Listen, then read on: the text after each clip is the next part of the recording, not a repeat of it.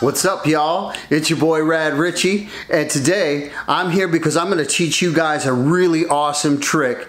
And it's kind of hard, but it's kind of not. It's all really about the commitment in wanting to pull it off. And it's an awesome trick. I know you guys are going to be stoked to learn. Well, let's just get right into it. Today we're going to learn how to do the decade. Oh, yeah.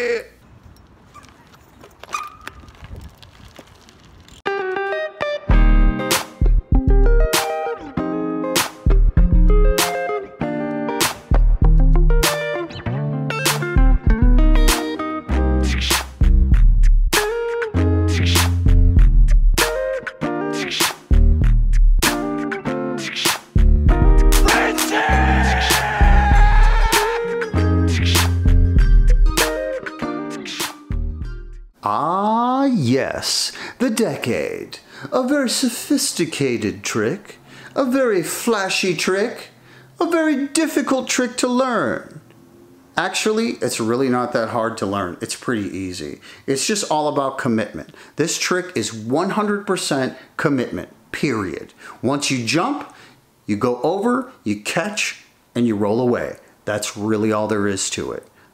But if you don't commit, bad things happen. You can get hurt doing this trick. Therefore, I recommend you wear some knee and shin pads, a helmet, a chest plate, uh, elbow pads, gloves, a condom. Just kidding.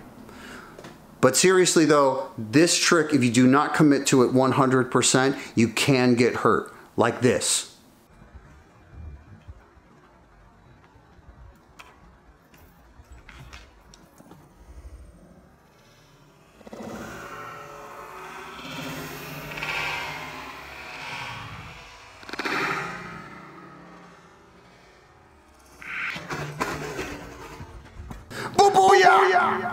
Now that hurt really, really bad.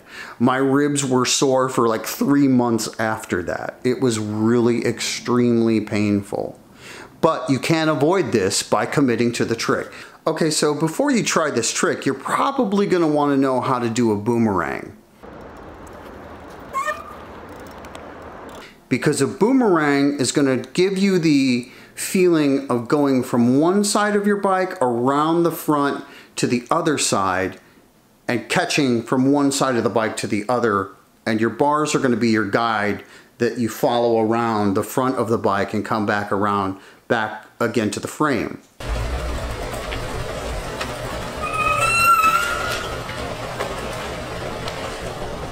Now once you have the feeling of doing a boomerang then it's going to make it a lot easier for you because it's that pretty much same feeling when you're going vertically over the top tube instead of around it. It's almost harder to go around it than over it because you're just basically jumping the head tube and landing back on the other side like a boomerang. So what you're going to want to do is you start off by rolling at a slow speed while standing on the back pegs. You come to a stop by tapping the front brake and doing a little bitty endo, and then drop the back end. When it hits, you're gonna pull back, and at the same time of pulling back, you're also gonna turn, start to turn your bars. And at the same time of that, you're going to take your right foot and step onto the seat clamp as you're turning the bars.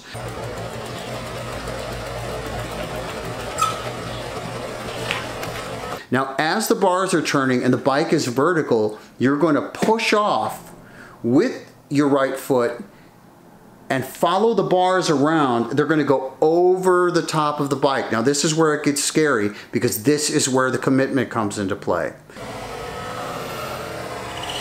As you're over the top of the bike, you're going to be looking down and you're going to be, I look at the seat when I go around but you're going to be over the top of the bike and you're going to stall there for a second. And at this point is where the commitment all comes into play. As you're going over the top, you're going to reach your left leg over the tube, the top tube, and let it guide you around the other side of the bike.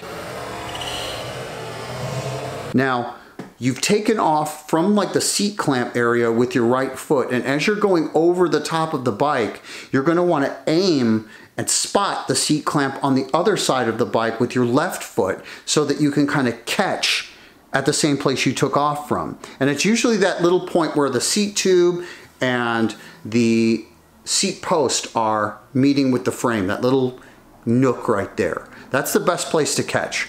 It's the safest place to land and that's where I try to aim for every time.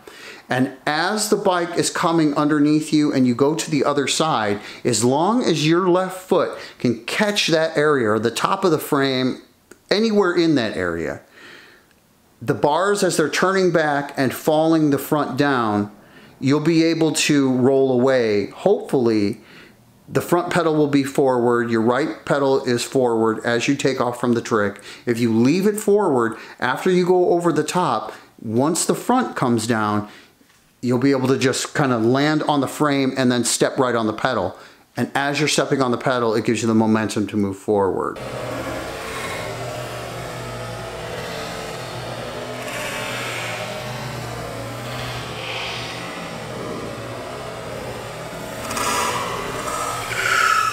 So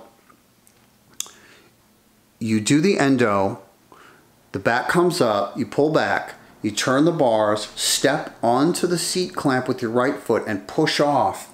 Jump over the top tube and catch the seat tube with your left foot in the seat clamp area. And that's really it.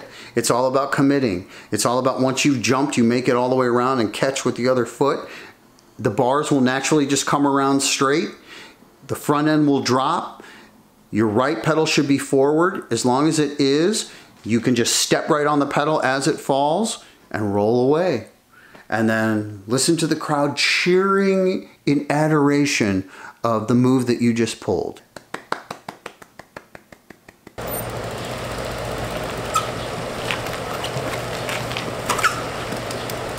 Now, I hope that you guys can go out and pull off some decades on your own. It probably will take you a few tries to get it because the commitment level is what's hard to get in your brain, the jumping over the top of the bike. And um, hopefully you'll be able to conquer that fear of the 90 degree point where you're looking down on the bike and you realize that you still got the other 90 degrees left to go. So it's all about the commitment. Hope you guys learned something from this. I hope it helps you to pull off your own decades. And once you get one decade, do two and three and four and do the kind where you jump over and jump back and do the jump from the back pegs, the Gary Pollak style where you just like do a boomerang over the top tube. Those are all really cool things, but it all starts with the basic one. And hopefully now you'll know how to do the basic decade. And from that, you can build onto anything that you want. The sky's the limit. You're free to have any style. That's why it's freestyle.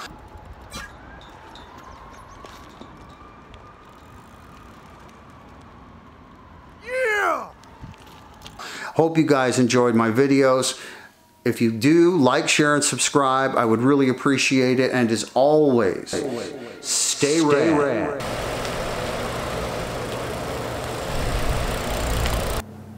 Shh.